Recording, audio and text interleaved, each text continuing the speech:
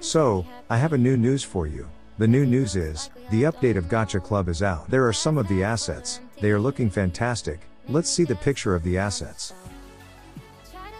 And there are the clothes, they are looking amazing, I like it. And also shoes are there, I love it, it is fantastic.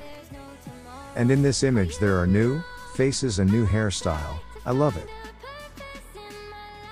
And there are new nose, they are looking amazing, I love it. And there are new eyes, they are looking amazing, they are attractive, they are so pretty, I love it. So, bye for today, I will see you in next video. Thanks bye, and don't forget to, like, subscribe, share, comment, bye.